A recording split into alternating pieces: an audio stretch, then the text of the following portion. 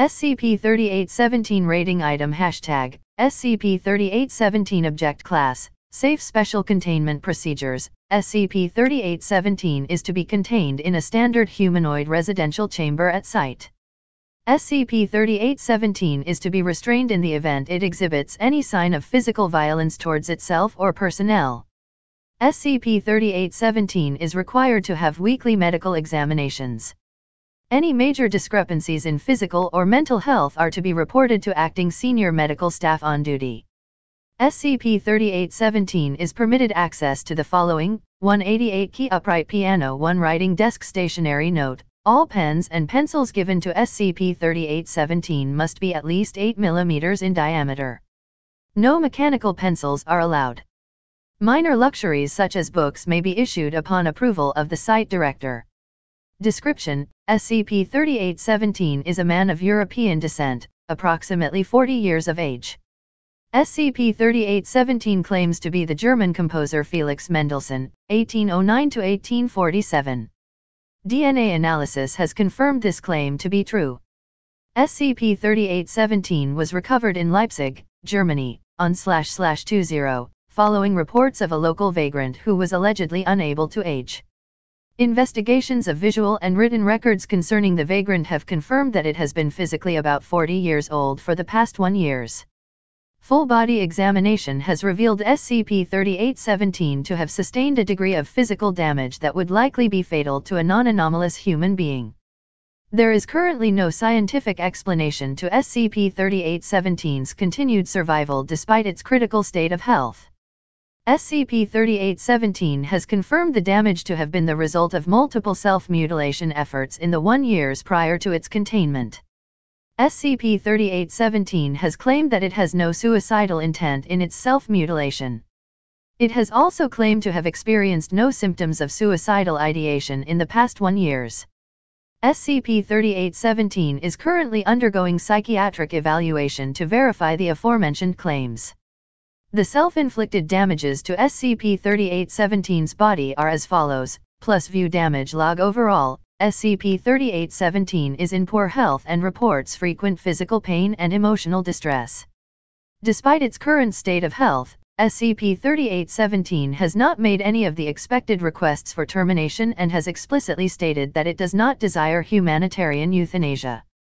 SCP-3817's maintained claim that it lacks suicidal desires has led to speculation that the cause of its biological immortality may be linked to its self-mutilation.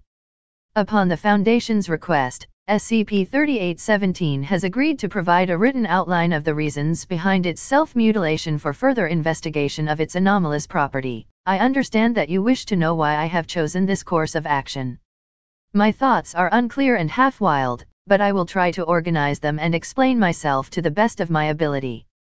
Three lines of script densely scribbled over, Completely illegible it has been brought to my attention that the great composers Beethoven cramped and vomited and lived in a world of painful silence, Mozart was sickly and miserable and up to his powdered wig in debt, Chopin was endlessly coughing his lungs and his soul out, Schumann saw angels and demons and phantoms and had moods that were as stormy as the literature of his era.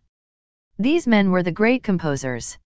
They knew how it was like to be exhilarated, they knew how it was like to be in the depths of despair. They knew emotions. Their music changed and shifted and developed and grew with the changes in their lives. All the great composers endured pain and suffering to fulfill their desire to create. And the results of their effort, timeless masterpieces. As for me, happy and fortunate is my first name. I was born into a wealthy family, showered with support and praise and money for my entire life, never did I have to struggle to write music. No other composer experienced such profound insulation from hardship. I never understood genuine misery and misfortune. For the 38 years in which I lived, my music never changed in style or quality, and there is no doubt that my pitifully comfortable existence impeded my artistic development. And do you agree with me, that the first condition of an artist should be to bear respect towards what is great, and to bow to it and acknowledge it? Owing to that, I have decided I must acquaint myself with suffering for my own sake. I must never perish, I must endure torment. I destroyed my hearing so I would never again experience the pleasures of sound, just like Beethoven who went deaf. Many of my illustrious predecessors such as Schubert, Schumann, and Donizetti suffered from syphilis, so I did what was needed. So did many of them praise alcohol and become drunkards. I have faithfully followed their practice of drinking excessively, only ceasing when every part of my body cried stop, no more. I took to living on the streets as a penniless vagrant so I could worry about money, about my safety, about where my next meal was going to come from, as many illustrious composers led their lives in debt or poverty, Mozart and Wagner come to mind. There were more, and I would have written them down if I could recall them, my memory is regrettably patchy. However I can say with confidence that I have made significant progress since. I am always in pain I am in constant pain and I can't even walk a few steps without feeling strange or numb or hurt and I cannot put it into words I do not wish to end this pain. I want to continue living. This is what the great composers endured every day, this is what shaped and grew them and I too must let it be an unavoidable part of my life. They have told me this. They have told me I must not give up in trying to develop myself. I have since grown accustomed to pain in an endearing, musical way. I understand mankind's greatest sorrows and they are tangible. It has completely changed the way I perceive and comprehend things. This is my life now. I have emotions now and I am no longer emotionless. I believe I have made great leaps in terms of progress. The heavenly spirits of the late great composers are agreeing with me. I can hear them speak, feel their presence. They are giving me their approval. My time, I am sure, is right now. I have been writing at great speed a volume of songs without words is nearing completion. I am sure it is not too much to hope that it will satisfy the public as much as it satisfies me it will fulfill it will be to the public's liking it illegible, scribbled over script for the rest of the note PS. Please forgive me for the cancellations and clumsy writing. I was weary. A poet in me was lost. I offer my sincerest apologies. Addendum During the period of its stay at the Foundation, SCP-3817 has written a collection of piano pieces titled Songs Without Words.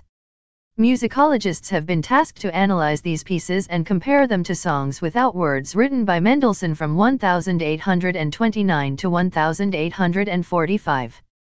No stylistic differences have been detected. SCP